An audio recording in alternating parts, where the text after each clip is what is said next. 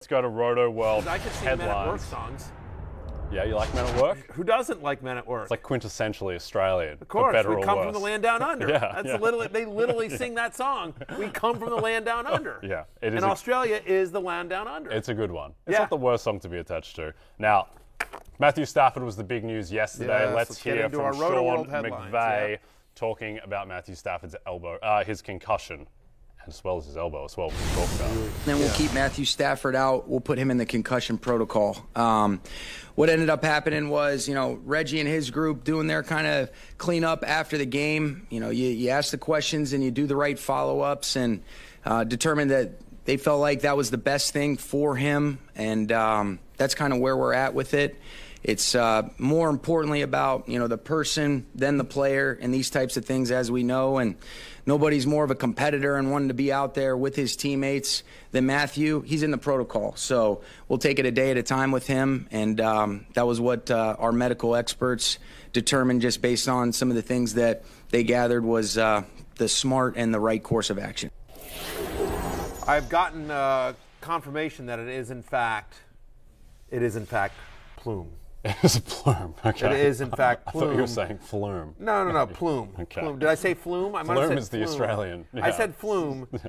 Plume. Okay, it's, it's a peacock's plume. P L U M E. Plume is the correct uh, pronunciation there. Well, More importantly, Matthew Stafford's plume is in a bit of doubt for Sure. Sunday. As soon as that broke, the line dropped from Rams minus three against the Cardinals to Rams minus one and a half, and that also, because we're going to get to another headline around Kyler Murray, would have Sure, gone sure. even further.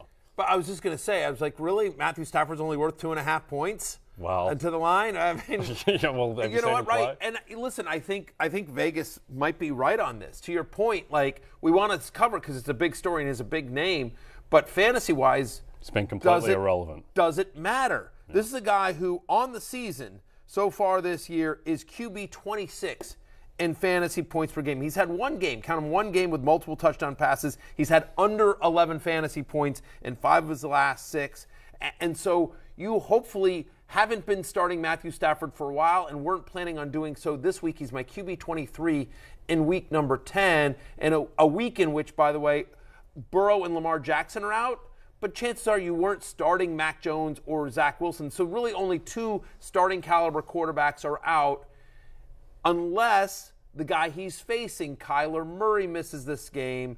NFL Network announcing yesterday, reporting yesterday, that he's day to day with a hamstring injury. Can you really be day to day with a hamstring injury? Well, particularly for a quarterback like Kyler Murray, where his so much of his real life value and his fantasy value comes from being able to, you know, Right. run with his hamstrings. And If they're a little uh, tight or a little Yeah, yeah, yeah. strained, No, he's no, in big you trouble. see me like slowly meandering through the halls because I have no hamstrings. Yeah. That's the problem. I would be a speed demon, but Yeah. I I ate them away in a in a buttery in a in a you know a One buttery of feast. the, uh, the best defensive performances from any player last season was Aaron Donald in prime time against the Cardinals. He devoured Kyler Murray. I think he had three sacks. He had like 16 pressures, absolutely ridiculous. And Kyler Murray would want the full use of his hamstrings to be able to elude Aaron Donald. But let's So- go back to Stafford for a Yeah, second th- because thank you. I think that like this is obviously a concern with the concussion. I jumped the gun on the elbow comment because I have heard that his elbow is still a thing in LA, and that's a problem for the rest of the season that they're just managing. And so, I I mean, this is Cooper Kupp is basically the quarterback of that offense at this point. But I, I don't feel good about Stafford this week, even if he plays, and going forward if he doesn't. Yeah, I, mean, I think so. For me, the the concern here is not necessarily Stafford, to your point, but does it, you know, does it affect my little Cooper Kupp? Does it affect um, my little Cooper Kupp? um, I don't care think about- Allen care about Robinson doesn't. Van, Van Jefferson, the, yeah. the running game, uh. Tyler Higbee, I guess, I guess. and my little Cooper Kupp. and your little Cooper Kupp. Look, you start your tight ends against Arizona. I'm not really worried about it. Look, Wolford has one career start. He I don't mind Wolford. Yeah, I don't mind. He that's- good that's- when he's look, been out there. I, I don't think John Wolford is that much of a downgrade from current Matthew Stafford at the moment. Like again, he had one career start. It was Week 17 of the 2020 season, and it actually came against the Arizona Cardinals, a game in which he won, and the Rams did 18 to seven. He went 22 of 38, 231 yards, no touchdown, but six carries for 56 yards. Probably more mobile than you might think he is. He's somebody that's also performed well in the preseason. I, I you're probably not starting him unless you're you're in a truly deep, you know, super flex league, two quarterback league, and you're desperate. But there's a little bit of upside with a rushing here, and you're still start. I don't know that there's a decision to make, and the, the, the only Rams that you would be considering starting, I think, my little Cooper Kupp and Tyler Higbee, and I think you're starting both of them. Yep, It's worth noting that, by the way, Kupp has struggled against Arizona, right?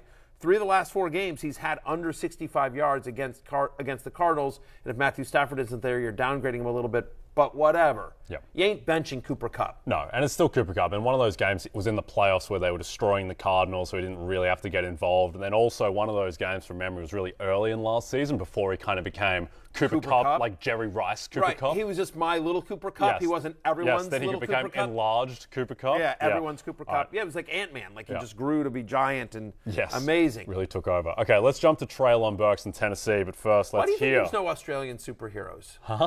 What's the question? I'm just, I'm just, I was, just, I mentioned Ant Man, Ant Man, you know, because Ant Man's part of the MCU, the Marvel Cinematic Universe, just like I am.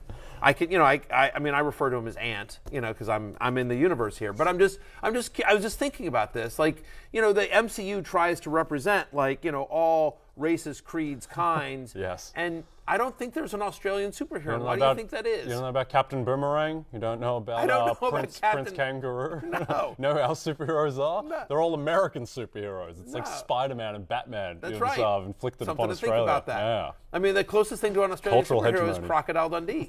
he wasn't. He definitely wasn't. He's not an Australian superhero. Yeah, I mean, like um, uh, the guy who directed, um, you know, uh, Waikiki. Uh, what's what? I'm, what's what? I'm You've lost I, me. I, no, no, he he's he's Australian. He he per- he he directed all the Guardians of the Galaxies. No, you've lost me. Um, oh no, that's James Gunn. No, the, no, he directed the Thor. Um, oh God, what's his name? Waikiki. What, I, no. I, can't, I can't help you. Well, I don't know. Someone's talking in my ear, but you're talking. I can't hear it. All right, it doesn't matter. Anyway, whatever. only The fact of the matter Treylon is- Burks The fact of the matter is, is you actually have an Australian uh, Taiki Waiki, Wakita. How do I pronounce it, guys? Nothing. Heike Waikit. What? Hang on. Taika Waititi. I don't know who that is. Am I a bad Yeah, Australian? I know. Yeah, we- probably because he's a very successful director. He's won an Oscar. Um, yeah, he's and he's the uh, he's the voice of a character in the MCU as well. And he's Okay. uh, anyway. I'll so- have a refresher during the break. Until then, help us out, Treylon Burks, and tell us what it's like on your return to practice. All right, yeah. Here's Treylon Burks. To be back in the locker room with my teammates, um, see the coaches, the staff, it's a good feeling. What So were the last uh, couple? Uh, what's the last month I've been like to kind of get to this day? Hard work, uh, dedication, just uh, putting my mind to the ground and just get back and be out here for the team. How you feel? I feel great. You think you got a chance to, to? You think you got a chance to maybe get back out there and contribute uh, maybe Sunday against the Broncos? Um, you know, that's the plan. We're just going to see how this week goes and, you know, work hard and, you know, let God take care of the rest.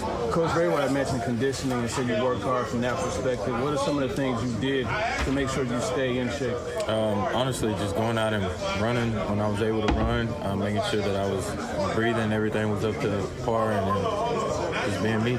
Do you have any pain? Like, do you feel like the injury is, is behind you now? It's just a matter of getting yourself back in football shape. Um, I would just say, just you know, we'll see how this week goes, and you know, decide from there. That, that, that was long, but on the plus side, we couldn't really hear it. Um, I believe that was Treylon Burke saying that he's the plan is for him to play this week. It's unclear. right. Might have been traded. it- don't know. no, no, no. Yeah, it was it was Titans wide receiver, rookie wide receiver Treylon Burke saying he's going to play this week, but it, it was long and hard to hear. It was. Which is like when you're thinking both visually and audio wise for a show, that's what you're looking for. Yes. um, lo- long and hard to understand. Um, I, look, I, I think it's kind of interesting just because no one has stepped up in that Tennessee offense. And I think he's probably worth, you know, if he was dropped in your league by somebody, he could have been. I don't mind grabbing him and stashing him. They're playing Denver this week. And, and so that's, that's the number one pass defense over the last month. Um, oh, you know, we would expect. We'd expect Patrick Surtain to have some shadow coverage here. I mean, he's the only guy that really gives you any sort of Can he shadow Derrick Henry? yeah, right. That's I all mean, that matters. Exactly. And we don't know if it's going to be Ryan Tannehill or Malik Willis under center. Um, I think if it's Malik Willis, it definitely doesn't matter. Like you know, he just um, his passing game is still a, a work in progress. Tannehill hasn't been great either this year. I, I'm just. I think Burks is an interesting upside play to grab and stash, but I'm not starting him uh, this week. You know, the total in this game is 36 and a half. It opened at 39, so it's Yeah, already it's been going already down. going down. I think that's the thought is that And by the way, I might still take Might the still under. take the Like. Yeah, I'm probably game- avoiding this game, but if I had to bet it, I think I'd still take the under. I mean, like two two good defenses and two bad offenses. Yes, absolutely. And uh, I kind of like the Broncos plus two and a half there, just in a low scoring game. Entire Titans defense is banged up. Yeah. Who knows, Willis or ride. Tannehill. All right, let's go to one of our favorite subjects, which is Elijah Moore, who apparently is going to be playing in the slot going forward, according to Coach Robert Saleh. Does this change anything for you on Elijah Moore? On Elijah Moore, it does not. I, the fact of the matter is, is that small sample size, right? But Elijah Moore last year, he didn't play entirely in the slot, right? This is last year, 29% of his routes came uh, and 34% of his targets from the slot. So still, like you know, basically two thirds of his routes and snaps and targets came outside the numbers.